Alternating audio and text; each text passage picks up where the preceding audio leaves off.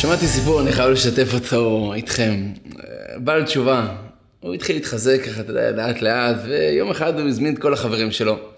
לשבת ככה, אתה יודע, בכיף ככה בסלון, לדבר על הא ועל דא.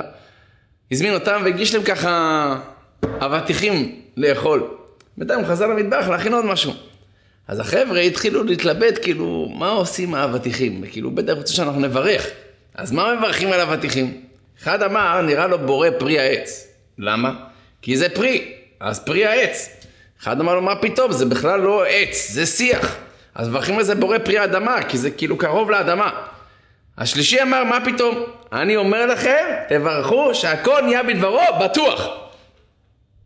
מה למדת שהכל נהיה בדברו? אני אומר לכם שהכל נהיה בדברו. תוך כדי דיבור מגיע בעל הבית. הוא אומר, תגיד לו, תגיד לי יעקב, מה מברכים על האבטיח? אומר, בורא פרי אדמה.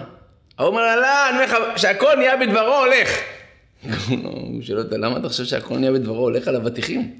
ואז הוא סיפר, תבינו איזה סיפור מדהים. הוא סיפר שהוא היה טנקיסט במלחמת יום כיפור. הוא אמר שהטנק שלו היה חלק מפלוגה שלמה שכמעט הושמדה כליל. המצרים ירו, ירו עליהם, פשוט השמידו את כל הטנקים, נשארו הם עוד טנק אחד, זהו, זה הכל, מול צבא מצרי ענק.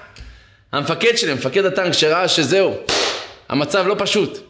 הוא מודיע בקשר לחבר'ה, חבר'ה, אנחנו במצב קשה. יש פה מישהו בטנק שיודע איזושהי אה, תפילה של הדתיים? מצב קשה. יש מישהו פה יודע איזה תפילה של דתיים? שקט. לא יודעים מה הם מתפללים החבר'ה האלה. רואים שמתנדנדים ככה, אבל מה הם אומרים? מה הם אומרים?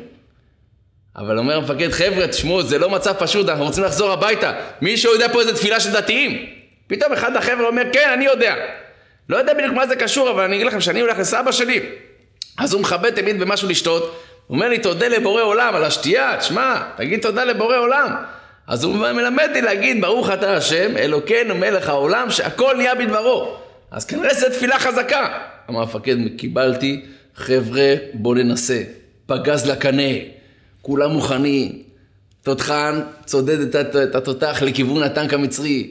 הפגז בפנים? כן המפקד, עבור. אז כולם ביחד, ברוך אתה השם, אלוקינו, מלך העולם, שהכל נהיה בדברו. פגז משוחרר, טנק מצרי הורד, זה עובד, קדימה, פגז עשה בקנה, כולם ביחד, ברוך אתה השם, שהכל נהיה בדברו. ככה השמדנו, אומר, פלוגות אחרי פלוגות של הצבא המצרי.